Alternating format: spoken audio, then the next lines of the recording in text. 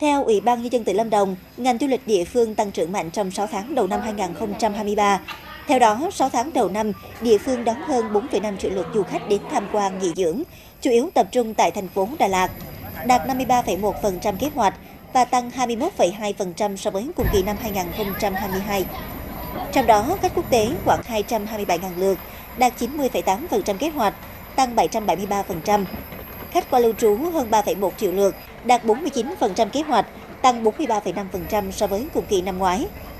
Hoạt động du lịch 6 tháng đầu năm sôi động với nhiều chương trình, sự kiện được tổ chức, thu hút đông đảo khách du lịch đến Lâm Đồng, nhất là tại các kỳ nghỉ lễ kéo dài như Tết Nguyên đán Quý Mão 2023, lễ Dỗ Tổ Hùng Vương, lễ 30 tháng 4 và 1 tháng 5, tuần lễ vàng du lịch lần thứ hai năm 2023, lễ hội âm nhạc quốc tế Hoa Sen Southfest 2023.